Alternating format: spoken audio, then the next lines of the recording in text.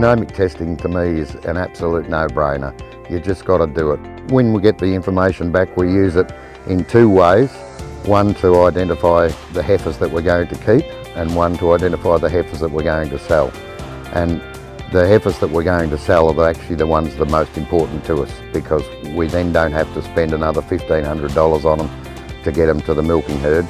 We already know that at 200 kilos they're probably going to go on the boat.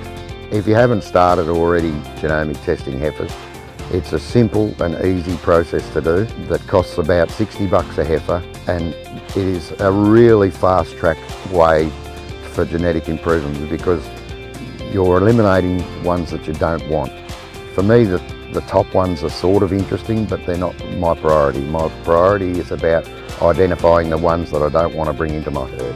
When we started using genomic testing six years ago, we had an average BPI in our first group of heifers of 12.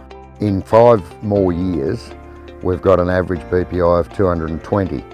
The BPIs and the genomic testing are the most exciting thing that's come out in the genetics industry in years. It just gives us something to measure from a very early age. Now we understand before the cow even comes to the dairy what we're going to get out of that cow and what she actually looks like, what her udder looks like, what her feet and legs are like, you know, what her temperament's like, how fertile she is.